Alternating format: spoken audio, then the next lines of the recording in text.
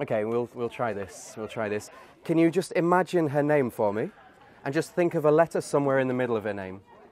Oh, you did that twice. The same letter is repeated in the middle of the name. And it's an L. Oh my god. Yeah? Yes. Okay, so just think about the rest of her name. Yeah.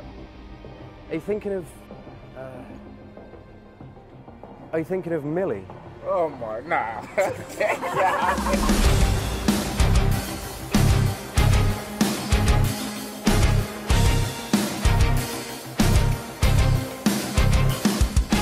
This routine contains no sleight of hand and there are no moves to perform. It is extremely easy to do.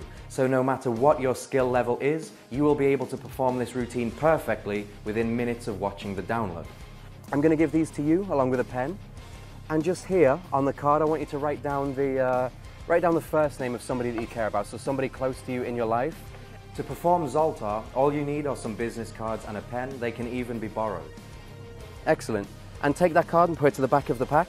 Now, on the other cards that are there, I want you to write down just random names that you have no connection to at all. Your spectator then mixes the cards around and places them face down on the table. At this point, you begin to try and locate the position of the spectator's card. So, what I'm going to try and do is I'm going to try and sense which card contains the important name.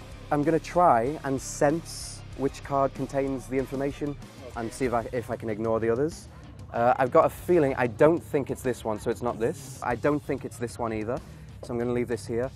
And I feel like it's not this one either. Okay, so we're down to two. During this process, you are able to take this routine a step further and reveal the name that the spectator is thinking of with 100% accuracy. Uh, just think about her name for me and think about the first letter of her name. Oh, it's like an S.